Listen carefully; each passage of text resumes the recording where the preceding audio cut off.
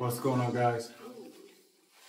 You got some space here? All right, it's almost been like uh, a week and a half since we got in the gym, but we finally got back Together. for our first leg day. A lighter, like kind of a day, right? It wasn't too too hectic, too heavy, but it was good. So we start with leg extensions.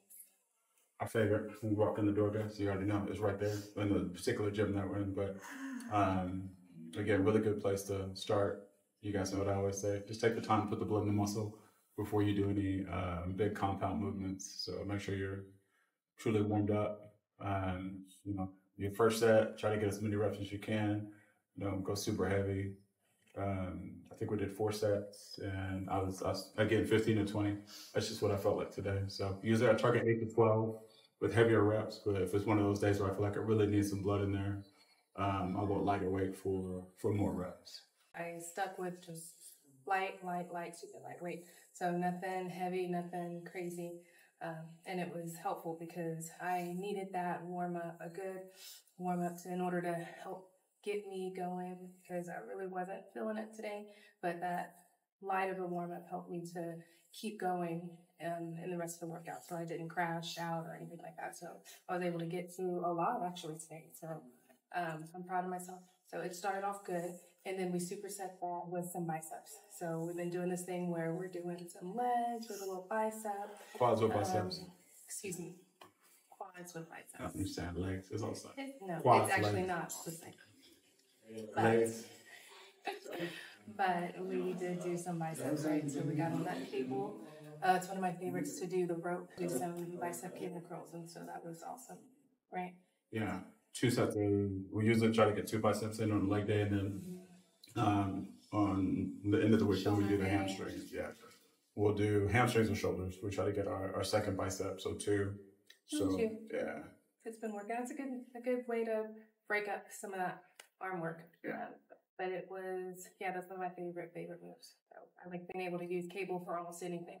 So being able to get keep tension whenever you're coming up and then going back down, it's awesome. But, um, all right, so that was a superset there. We love our supersets because we got to get in and get out. then we did our adductors. Yep.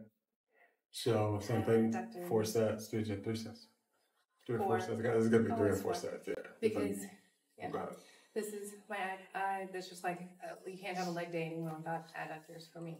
So I love getting that in, and I'm starting to see some good, nice development there in my um, inner thigh. So it's, really good with the with the adductor work. another warm up. Same thing I say. Um, like always, guys, take your time. Do that before you do any heavy compound movements. Get your adductors in. Get everything warmed up, nice and tight.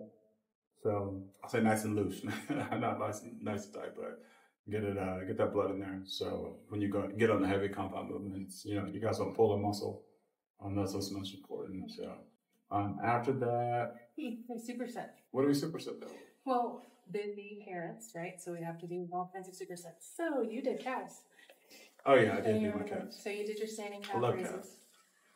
I The like ninjas. yeah. My Ninja Turtle calves. we did. We, got- we did a, um, the standing calf raises. So You did.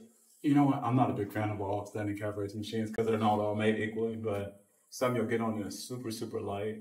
I like the Um, old school stuff. Yeah, the old school is like heavy duty, right? Like 20 pounds feels like 80 pounds. That's old school. So I think it's going to be to where they start selling that old stuff for like high dollar, and you're going to be the legit because it works. the Like yeah, that's like when you go into the squeaky wheel. Yeah, old school gym, and like they got all the the old school equipment that and, and maybe With the bust it up, but it works. Yeah, it works.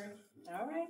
Um, but yeah, so we did the cat. Uh, I did standing calf raises, and then And I did um, lunges, walking lunges with what was a 20 pound sandbag. Yeah. So just uh, did those just to keep keep moving. So like I said, lightweight first day back, um, just trying to strengthen, get stronger back. So it was just lightweight, maybe about eight down and eight back again, um, walking. So it was it was a good way to get started. So I'm glad that I did that and just didn't just sit, do something like keep moving, lightweight Yeah. works, works, works.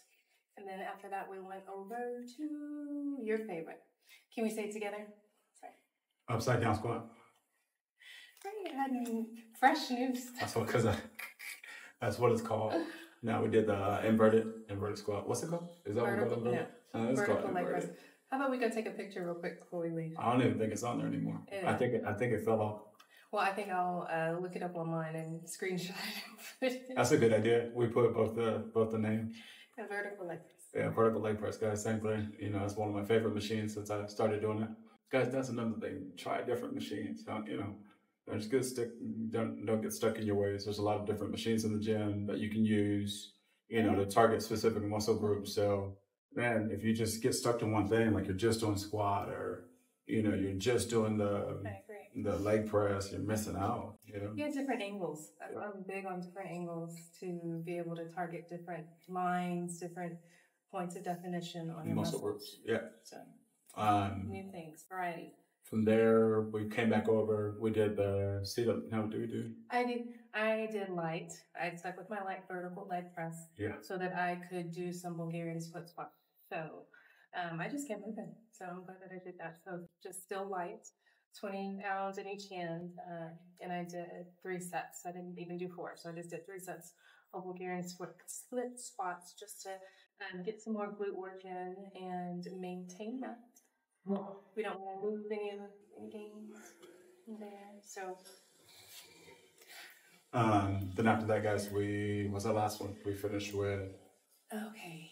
so we did the uh, seated leg press, and I was gonna go uh, do unilateral or single leg, but I didn't. I mean, we, we our legs are fried after um, inverted squat, so we went ahead and did a did a compound movement on the uh, seated leg press, and on that one, I had just You were shaking. Uh, big time. Big That's how you know your body used all its fuel. You pushed, right? You're shaking. It's time to go. We, um, I did my sets. I did H12, pretty heavy. So, Good job. and um, I'm glad it worked. I usually try to get three compound movements, but we did three compound movements, but we did two today, um, which is okay. So, uh, what matters is if you did that last, the last compound movement, you know, how did it go? Was you Push. shaking? Yeah. Did you push it? Did you give it everything? Um, if you didn't, go, you know, go get your third exercise. If you did, you're good to go. So, For sure. And then I did the same. I got the, the dual leg leg press. So um, so just did a maintenance thing right there. Nothing heavy for me. So um, it was good. Both got in four sets.